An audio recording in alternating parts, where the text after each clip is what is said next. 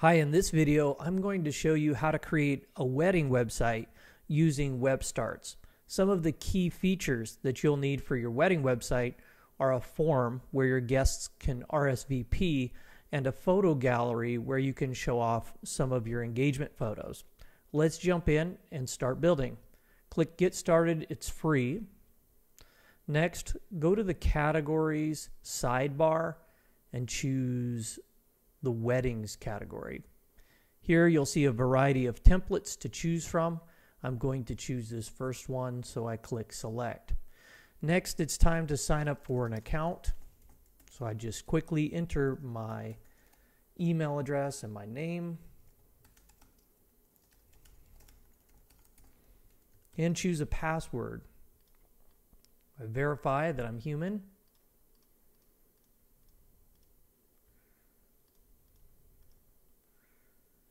And then I click sign up.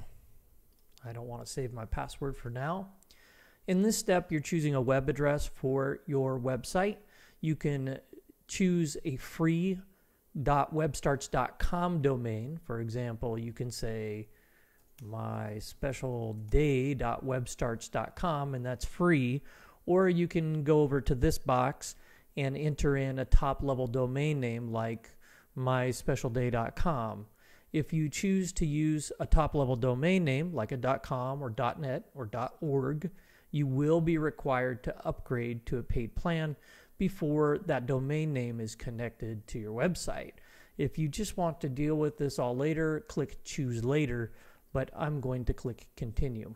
Oh, and it looks like my desired web address is not available. So if that happens to you, then just choose a different one and click continue.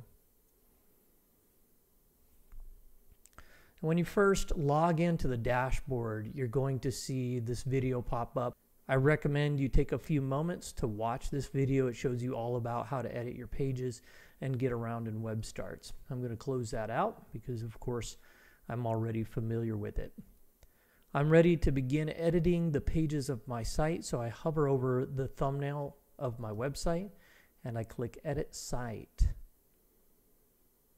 This loads the WebStarts page editor, and in the WebStarts page editor, I can click on any element and I can drag and drop those elements where I'd like them to appear, but I can also double click on elements to replace them. So for example, if I wanted to replace that image with one from my local computer, I just double click on it and then I find the image I'd like to replace it with on my local computer. Let me see if I can find a nice wedding style image here. Now my file is uploading. And once that's completely uploaded, I can click on it and then I can click Insert File to replace it. Now I can also choose an image from the image library by searching by keyword, category, or even by color.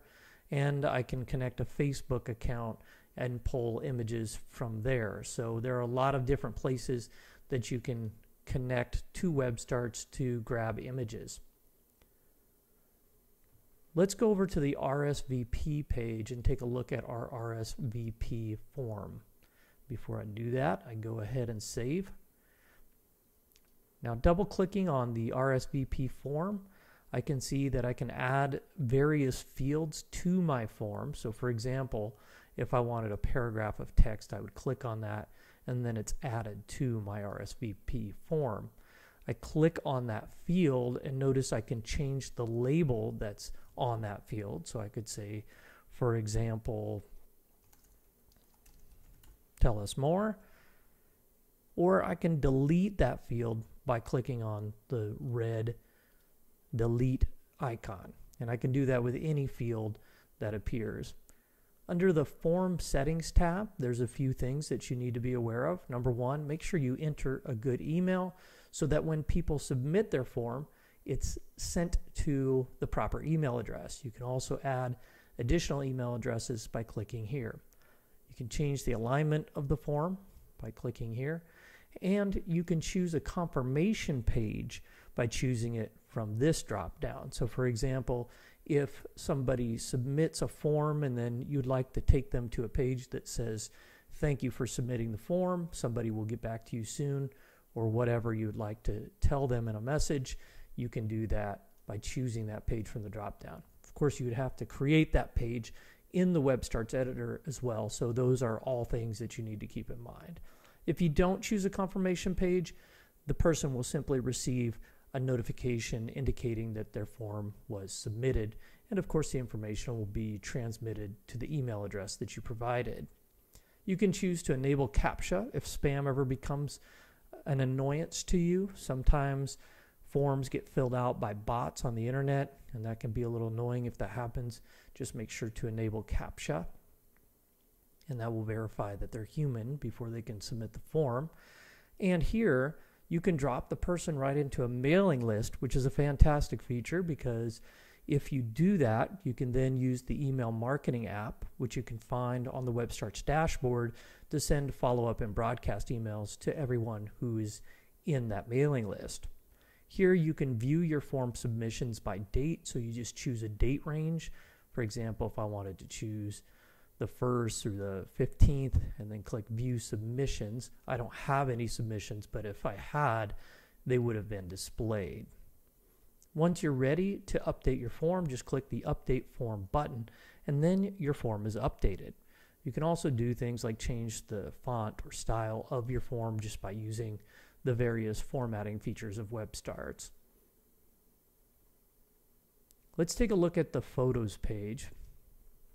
If you jump over to the Photos page, you'll notice that there's a photo gallery on this page. So all these photos are grouped together in what we call a gallery, and you can add photos to that gallery just by double clicking on it, clicking add images, and then choosing those photos once again, either from photos that you've previously uploaded, upload new photos from your local computer, the image search, and connecting your Facebook account.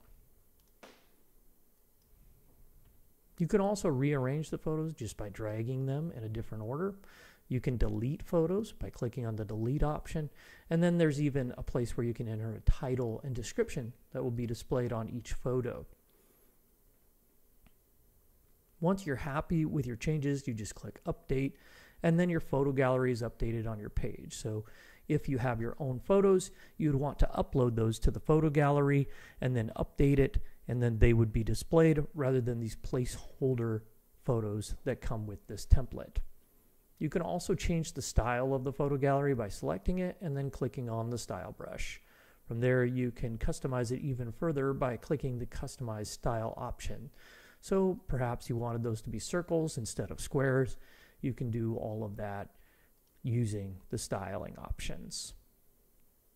Whenever you're happy with the changes that you've made to your website, be sure to click Save, and those changes will be saved and published to the web, and you can view that live website by clicking View Site. Let's go over to the blog page and see how that works. You can choose to have a blog or not have a blog on your website. A blog can be a fun way to share some of the memories with your family and friends concerning your wedding and engagement. If you don't want to have a blog or any specific page that's included with the template, all you need to do is click on the pages icon, then click the settings cog and the trash can next to the page name and confirm that you would like to delete it.